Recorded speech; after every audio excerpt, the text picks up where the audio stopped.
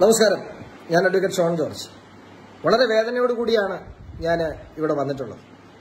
വയനാട് സുൽത്താൻ ബത്തേരിയിൽ ഏലിയാസ് എന്ന് പറയുന്ന ഒരു കർഷകനെ അയാളുടെ വീടിന്റെ ചുറ്റുമതിലായി ഉണ്ടായിരുന്ന മുള്ളുകമ്പിയിൽ ഒരു പുലി കുടുങ്ങിയതിന്റെ പേരിൽ ഫോറസ്റ്റ് ഡിപ്പാർട്ട്മെന്റ് റിമാൻഡ് ചെയ്തിരിക്കുന്നു. ഇന്ന് ന്യൂസ് ട്വന്റി ഫോറിലൂടെയാണ് ഈ വിവരം അറിയാൻ കഴിഞ്ഞത്. ഞാൻ വളരെ വൈകിയാണ് ഈ വിവരം അറിഞ്ഞത്. അദ്ദേഹത്തിന്റെ നിയമസഹായം അദ്ദേഹത്തിന്റെ മറ്റു കാര്യങ്ങളൊക്കെ നമ്മളാൽ ചെയ്യാൻ കഴിയുന്ന എല്ലാ സഹായങ്ങളും ചെയ്യും. അതല്ല അതിനപ്പുറത്തേക്ക് ഒരു കാര്യം പറയാനുണ്ട്. വനത്തിനോട് ചേർന്ന് കിടക്കുന്ന പ്രദേശയിൽ പ്രദേശങ്ങളിൽ മലയോര കർഷകൻ നട്ടുവളർത്തുന്ന കാർഷിക ഉൽപ്പന്നങ്ങൾ ഇവിടുത്തെ വന്യമൃഗങ്ങൾക്ക് കൊള്ളയടിക്കാം. അതിന്റെ ചുറ്റുവട്ടത്ത് എവിടെയെങ്കിലും വെച്ച് വന്യമൃഗങ്ങളെ ആരെങ്കിലും ആക്രമിക്കുകയോ കൊലപ്പെടുത്തുകയോ ചെയ്താൽ കൊല്ല അല്ലെങ്കിൽ ആക്രമിച്ച് കൊലപ്പെടുത്തിയാൽ അതിന് കേസെടുക്കാം. പക്ഷേ വന്യമൃഗങ്ങൾ കൃഷിയിടങ്ങളിലേക്ക് ആക്രമിച്ചു കയറുകയും ആ ആക്രമിച്ച് കയറുന്നതിനിടയിൽ ഇത് ഇത് കെണി പോലുമല്ല. സ്വന്തം വീടിന്റെ ചുറ്റുമതിലുണ്ടായി ആയി ഉണ്ടായിരുന്ന മുള്ളു കമ്പിയിൽ. അതിന് കൃത്യമായി ആ വീഡിയോയിൽ കാണിക്കുന്നുണ്ട്.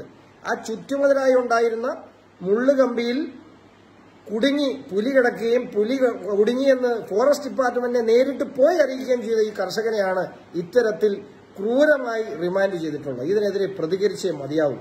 ഇവിടെ കർഷകനും കർഷകന്റെ ഭൂമിയും ഫോറസ്റ്റ് ഡിപ്പാർട്ട്മെന്റിന്റെ തറവാട് സ്വത്തല്ല. ഇതിനെതിരെ ശക്തമായ നിയമ നടപടികളുമായി മുമ്പോട്ട് പോകും അദ്ദേഹത്തിന് ജാമ്യം അവിടെ ലഭിക്കുന്നില്ലെങ്കിൽ ഹൈക്കോടതിയിൽ അദ്ദേഹത്തിന്റെ ജാമ്യപേക്ഷ നാളെയോ മറ്റന്നാളോ മൂവ് ചെയ്യും. ഒരു സംശയം വേണ്ട. ഇക്കാര്യത്തിൽ ഒരു വിട്ടുവീഴ്ചയ്ക്കും തയ്യാറല്ല. ഇത് വനവൽക്കരണമാണ്. പ്രകൃതി സ്നേഹമല്ല.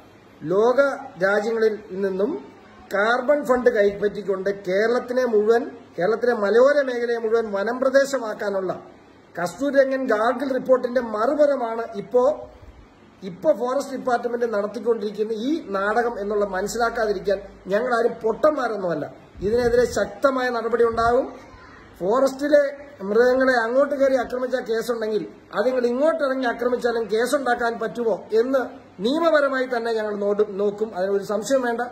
ഈ വൃത്തികേടിനെതിരെ ഫോറസ്റ്റ് ഡിപ്പാർട്ട്മെന്റ് ഡിപ്പാർട്ട്മെന്റിന്റെ ഈ തന്തയില്ലായ്മയ്ക്കെതിരെ ശക്തമായ പോരാട്ടത്തിന് കർഷകർ രംഗത്തിറങ്ങണമെന്ന് വിനീതമായി അഭ്യർത്ഥിക്കുന്നു. നന്ദി നമസ്കാരം.